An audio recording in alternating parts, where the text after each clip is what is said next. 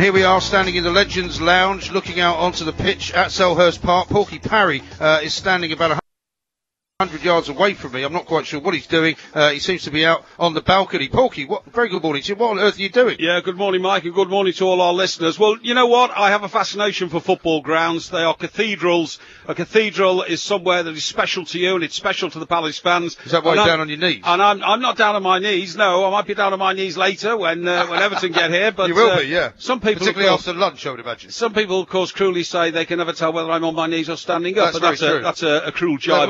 a lot I- of them have been commenting on your bald patch Uh, as well since that picture went out just before the show. Well, that's only because of the sun, because I was just about to tell you, I'm looking down now on the pitch uh, at magnificent Selhurst Park, Yes. and it's a, it's a, it's the most beautiful setting because it's a, it's a, it's a powder blue sky, Yeah. but a very, very bright sun which is shining down on the pitch. The pitch this morning, right, Yeah. when uh, the groundsman arrived at sort of 6 a.m. was minus eight. What Incredible. about that? Absolutely incredible. And, uh, well, it's and- warmed up to about minus two now, isn't it? uh, well, the outside temperature is Right. minus two, but the guys here who look after the pitch have got it up to. It's going to be 12 degrees when the teams come out at three o'clock Hmm. to start the game. So they, they really have weaved a lot of magic, and we're going to talk to uh, one of the groundsmen about how he's done that a bit later in the show. But it looks magnificent as these grounds always do before uh, the fans arrive, and uh, we're What is that you're holding over your eyes, by the way? well, to be honest, Right. it's, it's just an ordinary newspaper because it's so bright an out ordinary here. newspaper. Yeah, it's so bright out here that uh, unless without my newspaper visa across the top of my head, Visor. I, uh, visor, that's right, I wouldn't be able to actually relay to you Yeah. the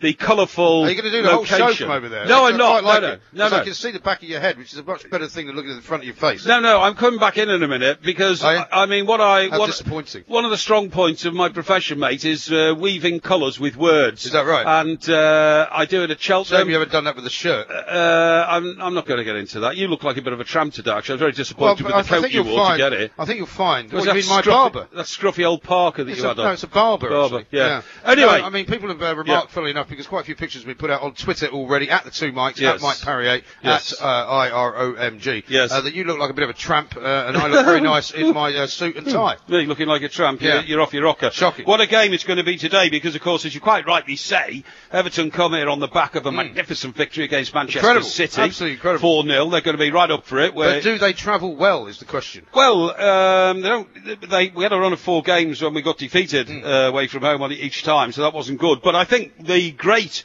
uh, anticipation for Everton fans today is to look at the starting lineup. Yeah. Because so many of our young players excelled in the last game against Manchester. City. The young uh, Mike Parry look-alike. uh, uh, who's that? Oh, you with, with Tom Davies. Oh yeah, Tom. Davies. None of my players He does. He looks exactly like you did when And, you were uh, uh, romancing people at the Nottingham which is quite interesting. And, and of course, uh, young Lookman, who was 19, who scored a goal, you know, the minute he came on in Yeah. the 90s. So I think it'll be very interesting to find out whether they start today or not. I mean, Lookman, I suppose, could be one of these great power subs at his age. You know, He could. come on and, and do And things. he knows this part of the world, doesn't he? he came from Charlton. uh, that's right, absolutely, yeah, at 19. But I tell you the other interesting thing is, you just mentioned Tom Davies. Yeah. His uncle is Alan Whittle. Yes. Now, Alan Whittle was a member of Everton's 1970 championship winning mm. team, and when Alan Whittle left Everton, Yeah. he came to Crystal Palace. Did he? Yeah. So, are. so he's played for both so clubs it's a as big well. circle. And Big Sam, of So- course, uh, has yeah. got a reasonable record against Everton, hasn't he? Uh, Big Sam's got a reasonable record against everybody. Yeah. And, uh, you know, uh, the, my greatest fear today is at the moment,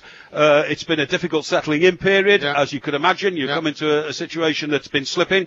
And I just hope he doesn't kick-start it into gear today against Well, he Everton. may do because they're off the back of that FA Cup win during the week. Yeah. You know, where uh, the Palace people here today have been saying they thought they played pretty well. Yes. Uh, we'll be talking to his chairman as well later on. So We we'll certainly will. what the confidence level is like. I feel like a, a bit of a cad actually you? because we are very, you know, that we've been treated magnificently here at Crystal Palace, and we haven't even got to the uh, the first ten minutes of the show yet. But uh, they've made us feel so welcome. They have. Thank you so much. They're entertaining us to lunch. We're going to be sitting with uh, the important people to, we? to watch the game. That's right. Yeah. Yeah. And what I don't want to do Well, you've is. to be on your best behaviour. Uh, well, I will be on my best behaviour, but what I don't want to do is I want to uh, anybody to feel that I'm being, you know, somewhat, I don't know, uh, injurious to the health of Crystal Palace No. by hoping that Everton will win. Well- but uh, th- that's life. People, I'm an Everton fan. Palace understand that. We come Yeah. here pretty much Yeah. every season, and they Yeah. always know that you want them to win, and it doesn't always happen. Though, The, thing is, of course, I, I, you know, I do have a soft spot for Crystal Palace because, of course, they are the nearest Premier League ground to myself. What? And Stockbroker Belt Surrey. Exactly. I was about to say, because they are so close to Well, why did it Stockbroker Belt so Surrey, get here this it means they have a very high quality of fan. Is that right? A certain percentage of their fans you'll sometimes see on match days when the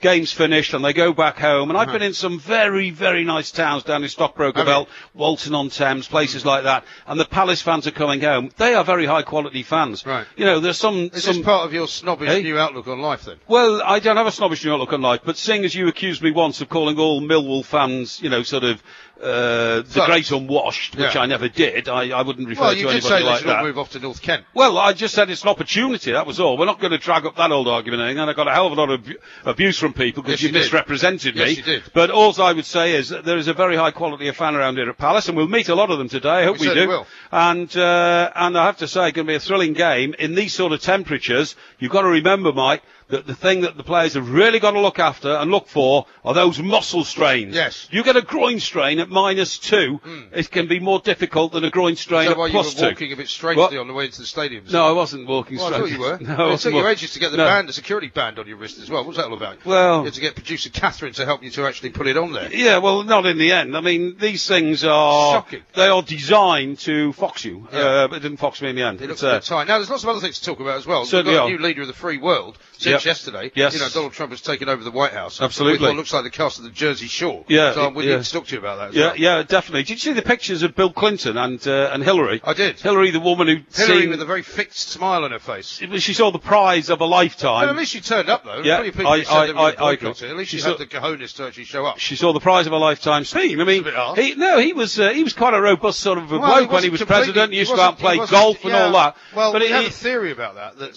something was removed from him, Yeah. Uh, which she put away to keep uh, safekeeping, which he was never going to be able to use again. Uh? you can't talk about it as a family No, show. no, no, But there is a no. great piece of video, by the way, Yes. Bill and his wandering eyes. Ah, He's standing that. behind Hillary, and he appears to be Yeah. peering over uh, Yeah. towards Ivanka Trump. Sure. And uh, she catches him out. Sure. uh, and he starts looking a bit sheepish. Yes, that's right. It's a bit Uh, unfortunate, yeah, a, a little bit unfortunate. But uh, Bill, of course, who was my friend, and uh, keep saying. well, I would still. There's no point being friends with him friend. No, it's not. I mean, no, not I only is he no longer the president, No, but his I party's agree. no longer in control. I agree. I totally agree. Yeah. Uh, anyway, over the next two hours, we're going to bring the full flavour of the game here. As you quite rightly say, we've got loads of people here at Crystal Palace who And also, come on and, and also, and guest with us on the show. Before the Everton game, because Liverpool Yes. are kicking off at half past 12 against Swansea. They certainly You are. know, people got very confused this morning because I Yeah. put out a, a, a, a tweet that said,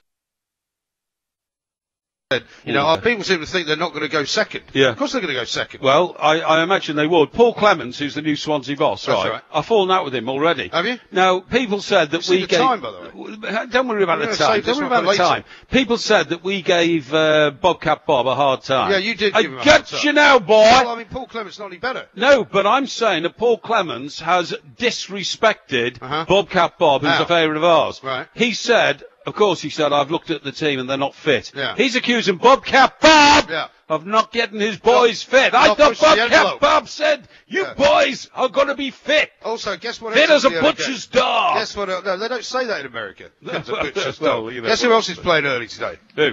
Uh, who are you? Who are Big you? game, QPR Fulham. We'll be talking about Mr. Uh, Onion Holloway yeah, as well. yeah, yeah, onion This is talkSPORT. We are the two mics. We're live from Selhurst Park.